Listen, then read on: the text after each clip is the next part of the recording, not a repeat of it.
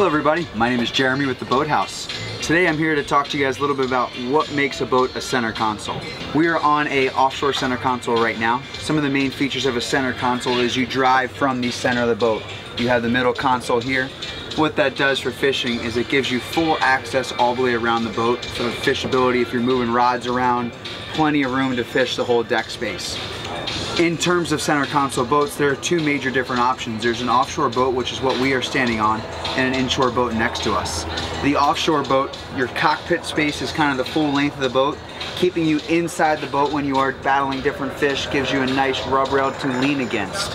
Whereas on the flip side, you're gonna have your bay boat style, which gonna be a lower gunnel height, a little bit smaller cockpit area, as well as they're gonna have a front and a rear casting platform, which when you're fishing the flats or in any type of mangrove, it gives you more maneuverability in order to reel that fish in. If you guys have any more questions about center consoles in either the offshore or inshore style, please feel free to contact us.